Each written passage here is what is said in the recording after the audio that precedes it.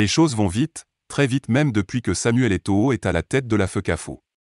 Depuis décembre 2021, le chouchou de Newbell a remplacé Sedou Mombo Njoya qui visiblement n'avait pas les épaules pour conduire le football camerounais. Samuel Eto'o continue de faire bouger les choses pour redonner au football camerounais sa propre image. Nous savons tous et c'est pas un secret de polichinelle que la relation entre Samuel Eto'o et Sedou Mombo Njoya ne se présente pas bien. Mais Samuel Eto'o vient de franchir un pas qui ne risque pas de plaire à son prédécesseur. Selon nos confrères à les Lions, le président de la FECAFou, Samuel Eto'o, aurait promis à Divine Murom, qui fait partie de l'ancienne équipe dirigeante de la FECAFou, le poste de secrétaire général adjoint.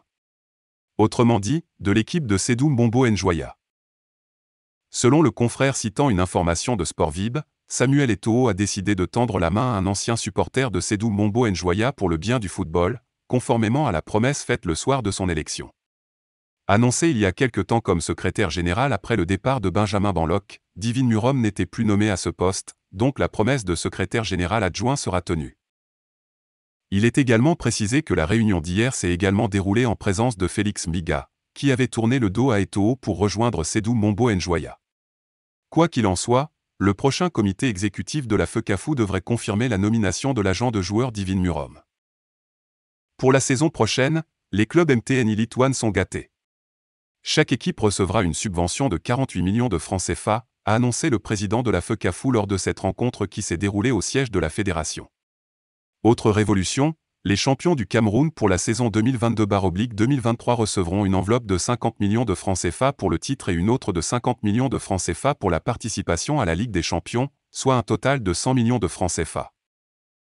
Chaque club se verra allouer un montant de 5 millions de francs CFA pour constituer une équipe de jeunes U15 et U17. Samuel Eto'o a également annoncé que la subvention de l'État restante pour la saison écoulée sera versée au club dès que l'argent sera disponible. Afin d'écourter la polémique menée par une certaine presse, le président a révélé le montant que le sponsor MTN verse chaque année.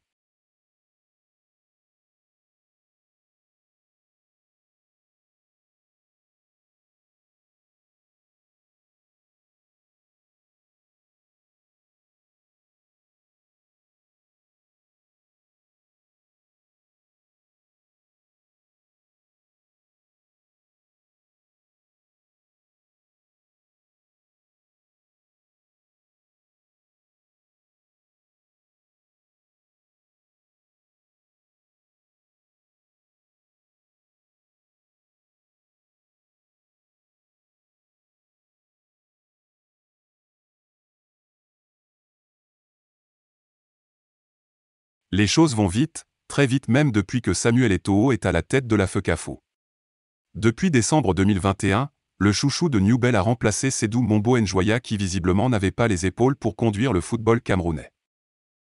Samuel Eto'o continue de faire bouger les choses pour redonner au football camerounais sa propre image. Nous savons tous et c'est pas un secret de polichinelle que la relation entre Samuel Eto'o et Sedou Mombo Njoya ne se présente pas bien. Mais Samuel Eto'o vient de franchir un pas qui ne risque pas de plaire à son prédécesseur.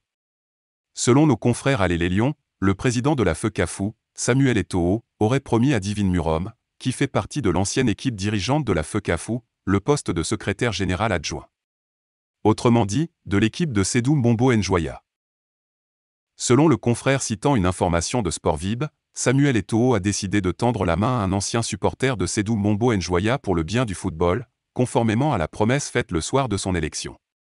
Annoncé il y a quelque temps comme secrétaire général après le départ de Benjamin Banlock, Divine Murom n'était plus nommé à ce poste, donc la promesse de secrétaire général adjoint sera tenue. Il est également précisé que la réunion d'hier s'est également déroulée en présence de Félix Miga, qui avait tourné le dos à Eto'o pour rejoindre Sedou Mombo Njoya. Quoi qu'il en soit, le prochain comité exécutif de la FECAFU devrait confirmer la nomination de l'agent de joueur Divine Murom. Pour la saison prochaine, les clubs MTN Elite One sont gâtés. Chaque équipe recevra une subvention de 48 millions de francs CFA, a annoncé le président de la FECAFU lors de cette rencontre qui s'est déroulée au siège de la fédération. Autre révolution, les champions du Cameroun pour la saison 2022-2023 recevront une enveloppe de 50 millions de francs CFA pour le titre et une autre de 50 millions de francs CFA pour la participation à la Ligue des Champions, soit un total de 100 millions de francs CFA. Chaque club se verra allouer un montant de 5 millions de francs CFA pour constituer une équipe de jeunes U15 et U17. Samuel Eto'o a également annoncé que la subvention de l'État restante pour la saison écoulée sera versée au club dès que l'argent sera disponible. Afin d'écourter la polémique menée par une certaine presse, le président a révélé le montant que le sponsor MTN verse chaque année.